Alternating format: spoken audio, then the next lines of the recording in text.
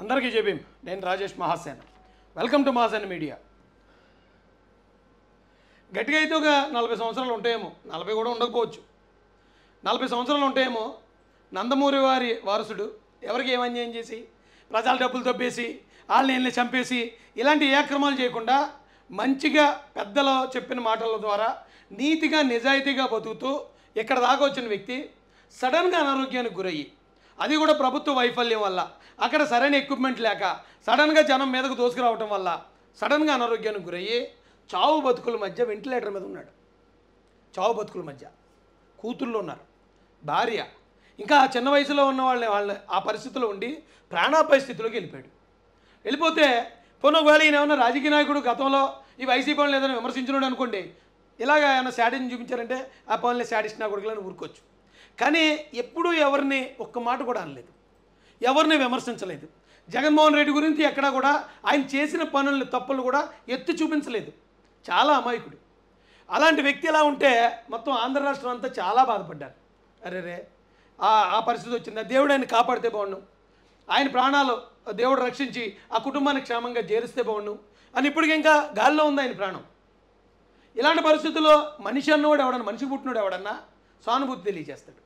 మానవత్వం ఉన్నోడు ఎవడైనా బాధపడతాడు.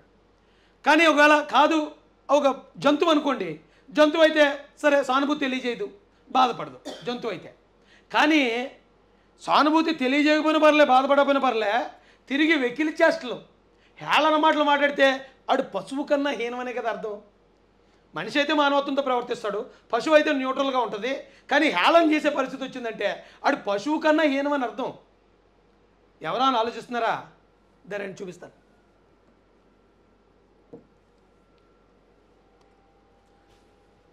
ఏమి దరిద్రమో కానీ మన పాదాలు ఏంట్రా నాయన? అబ్బ పాదం పెడితే మనుషులు పోతుంటాయి ఆ? మా నాయన పాదం పెడితే నందమూరు కందుకూరులో పది మంది చనిపోయారు తొక్కిసలాట. ప్రభుత్వం సరైన సెక్యూరిటీ కల్పించక. అలాగే గుంటూరులో ముగ్గురు చనిపోయారు. ప్రభుత్వం సరైన సెక్యూరిటీ పెట్టక. అంటే అక్కడ పది మంది ఇక్కడ ఓ ముగ్గురు పదమూడు మంది చనిపోతే జనాలు పోతుండ్రి. జనాలు పోతుండ్రి అంటున్నాడు వీడు. ఇదేం శాడిజం రా.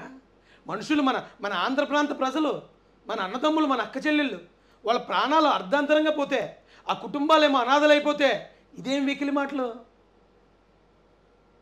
కుటుంబాన్ని హాస్పిటల్కి పంపిస్తుంటారు ఇందిరా ఈ పాదాల చెప్పు మనం పాదం పెట్టేమో లేదో.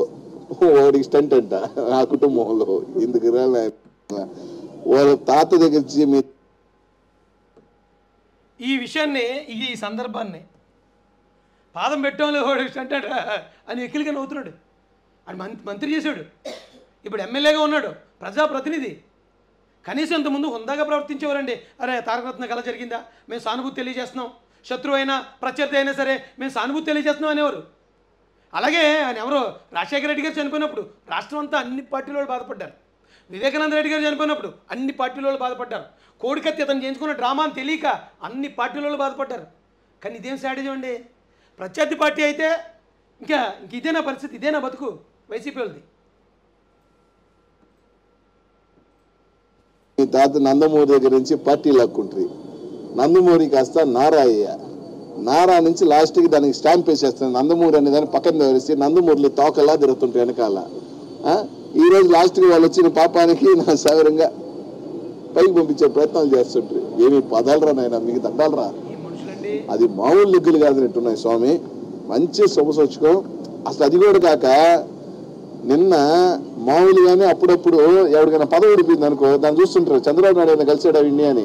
ఆ వారం రోజుల ముందు కలిసి ఉంటాడు అనమాట మనోడు. ఆహా ఏం మహిమరా అని మేము అది చూస్తుంటాం కదా ఇన్స్టాగ్రామ్లో దీంట్లో చూస్తుంటాం అనమాట ఎవరైనా ఉద్యోగం ఊడిపోయినా ఎవరైనా ముఖ్యమంత్రి అయిపోయినా ఏంద్ర కర్మ అంటే దాని వెనక చంద్రబాబు నాయుడు కలిసి ఉంటాడు అనమాట అట్లాంటి శుభసూచకమైన మీ నాయన్ని ముందు పెట్టుకొని ఆయన ముందు పెట్టి ముందుకు బయటకు వచ్చినట్టున్నారు నిన్న తారకరత్న గారికి అట్టడికి రావటం చంద్రబాబు నాయుడు గారి లెక్క మార్చేవాట అండి. లేకపోతే నారా లోకేష్ గారి లెక్క మార్చేవాట అవునా? మరి ముఖ్యమంత్రి పదవిలో ఉండి రాజశేఖర రెడ్డి గారి ప్రాణాలు గాల్లో ప్రాణాలు గాల్లోనే కలిసిపోవటం. ఎవరు మహత్యం మరి? ఎవరు ఎదురొచ్చి ఉంటారు ఆ రోజున? ఇంట్లో ఉన్న వాళ్ళే కదా ఎదురొస్తారు. మరి అది ఇంకెంత దారుణమైన లెక్కలు? ఒక ఉద్యోగం పోతేనో ఇంకోటి పోతేనో చంద్రబాబు నాయుడు లెక్క అంటున్నావు నువ్వు. ఏకంగా ముఖ్యమంత్రి చనిపోయాడు కదా. గాల్లో ఉన్నవాడు గాల్లో పోయాడు. కనీసం శవం కూడా దొరకలేదు. ఆ ఎంత మూడు రోజులు చాలా చాలా ఆందోళన పడ్డాం మేము అందరం. బతుకొస్తే బాగుంటాడేమో. ఎక్కడైనా బ్రతుకుండి ఉంటాడు ఎక్కడో చోట నుంచి వస్తాడు రాజశేఖర రెడ్డి గారని. కనీసం డెడ్ బాడీ అని దొరికిందా? మరి అది ఎవరి పాదం? అది ఎవరి లెగ్గరమా? లెగ్గమాచ్యం ఒక బాబాయ్ ఆయనేమో రాజశేఖర రెడ్డి గారు అలాగా. రాజశేఖర రెడ్డి గారు తమ్ముడు రక్తం మడుగులో. రక్తశక్తం అయిపోయి ఘాట్లు ఆ వయసులో గొడ్డలతో నరికి నరికి చంపారు. మరి అది ఎవరి లెగ్గమాచ్యం అది ఎవరు ఎదురొచ్చి ఉంటారంట మరి ఆ రోజున? ఏమో ఎలా తయారయ్యారు అనిల్ యాదవ్? ఇంట్లో అన్ని పెట్టుకుని అంత దారుణమైన హత్యలు పెట్టుకుని దారుణమైన ప్రమాదాలు అర్ధాంతర చావులు ఇవి పెట్టుకుని ఎవరికో హార్ట్ అటాక్ స్టంట్ వేస్తే ఆనందపడి నవ్వుతున్నావా? సిగ్గేయట్లేదా? అన్నమే తింటున్నావు నువ్వు? కనీసం సిగ్గు అనిపిస్తుందా నీకు? కష్టంలో ఉన్నవాడిని చూసి నవ్వకూడదనే ఇంగితం నేర్పించలేదా నీకు? నీ అమ్మ బాబు? ఎలా పెంచారా నిన్ను? పీకి పక్కన పెట్టారు నిన్ను కూరల కరివేపాకులాగా. నీ మంత్రి పదవి. అయినా మరి ఏది చూసుకున్నావు నువ్వు? నాకు అర్థం కాలే. అయితే మళ్ళీ మంత్రి పదవి కోసం ఈ కాలు పిసికే కార్యక్రమాలు అనుకుంటా. ఆయన్ని సాటిస్ఫై చేయాలంటే ఇలాంటి శాడిజం పనులే చేయాలి కాబట్టి. సైకోల్లో బిహేవ్ చేస్తే ఆయనకి నచ్చుతాం కాబట్టి. శాడిస్ట్లో బిహేవ్ చేస్తున్నావా? ఎందుకే పదవి కింద ఎంత గట్టి కరుతున్నారు మీరు? పదవుల కోసం? ఫోటోలో చూసినావా? నువ్వు ఇంటి గడప దాటంతో నీకు ఎవరైనా చెప్తారన్నమాట. మనం ఏమైనా మంచి కార్యక్రమానికి ముందు ముందు మంచి మహిళని ముత్తైదని ముందు పెడితే ముందు వస్తే అదృష్టం అని చెప్పి. మన ఇంట్లో మన అమ్మ మన అక్క మన చెల్లు మన పిన్నమ్మ మన ఇంట్లో బంధువులు మరి ఎవరు ఎదురొచ్చారు మరి రాజశేఖర రెడ్డి గారికి? రాజశేఖర రెడ్డి గారికి ఎవరు ఎదురొస్తే అలా జరిగింది? మహిళ. వాళ్ళే చెప్పినాను ముందు పెట్టుకుని వచ్చేవారు బయటికి చంద్రబాబునే. అదే ఉంది ఆ ఫోటో చూశాను నేను. బయటకు వస్తుంటే చంద్రబాబు నాయుడు నిలబడి ఉన్నాడా? వాళ్ళే చెప్పు ఇంకేంద్ర నువ్వు గట్టెక్కేదా? నా తెలిసి వారం పది రోజులకి నా సౌరంగా నేను నిన్ను ఇంకా నువ్వు నడిచేది ఉంటుంది. కాబట్టి ఎత్తిపోయి నాడు ఎత్తిపోయిను నీ పాదయాత్ర గురించి ఏం మాట్లాడాలా? వేస్ట్. ఆ పాదయాత్ర నా సౌరంగా ఏందో చూ చే అవ్వా చే చిరాకు వస్తుంది. గతంలో ఇతని మాటలు వినాలనిపించేదండి. అనిల్ యాదవ్ పవర్ఫుల్గా మాడుతున్నాడు. ఓ పవర్ఫుల్ నాయకుడిగా ఒక బీసీ కమ్యూనిటీ నుంచి మేము కూడా చాలా ఆనందపడ్డాం. కానీ ఇతను ఐటమ్ నెంబర్ వన్ అయిపోయాడు. ఎప్పుడయ్యాడు తెలుసండి? అది కూడా జగనన్న పుణ్యమైనా అయ్యాడు.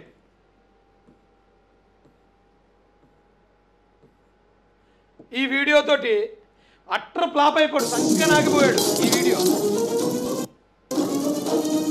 ఈరోజు మొత్తం కూడా కోవిడ్ వచ్చిన ప్రపంచం అంతా కూడా కోవిడ్లో ఉన్నప్పటికీ దాదాపు అక్కడ మాత్రం పని ఆపకుండా మరి పర్సెంటా అర పర్సెంటా తొందర ఎందుకన్నా?